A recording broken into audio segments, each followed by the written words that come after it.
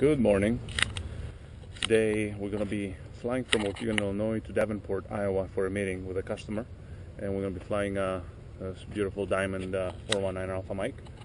And uh, flight time is going to be about an hour, 15 minutes. Um, it looks uh, like there's some precipitation in the air, but it's moving off to the east. So we're looking pretty good. There's a little few pockets of possible precipitation to the west of here, but nothing really major. It's going to be pretty nice. Uh, VFR all the way there uh, high ceilings. So it's going to be a very beautiful, nice flight, nice and smooth. So it's going to, and then we're going to come right back a little later. Okay.